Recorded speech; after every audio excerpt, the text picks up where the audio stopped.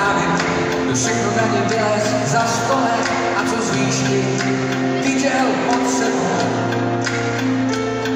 Jestli byl to jen ráj na pohled, buď nechceš nikdy nikam jet, dneska řekni temnou vzpomínku. Hodně vody uplynulo, hora je tu na pořád. A jednou taky na nás bude jen vzpomínat.